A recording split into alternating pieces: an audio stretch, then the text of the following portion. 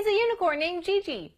Place Gigi on your finger, turn it on, and watch it move its head and eyes while making cute little sounds. Blow it a kiss and it will kiss you back, though that's kind of an inconsistent feature. If it hears you clap, it will unicorn around.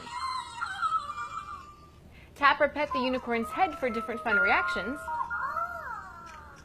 Or hang the unicorn upside down to explore Gigi's silly side. When it's nap time, cradle and rock the unicorn. And if you press and hold both its head sensors, you'll get a silly surprise. The unicorn comes with four button cell batteries. This is a very cute toy with a good amount of interaction to make kids ages 5 and up feel like they're really caring for and playing with a tiny unicorn on their finger. The unicorn has a silly personality and kids will like discovering all the different reactions they can get from Gigi as they put her through her paces.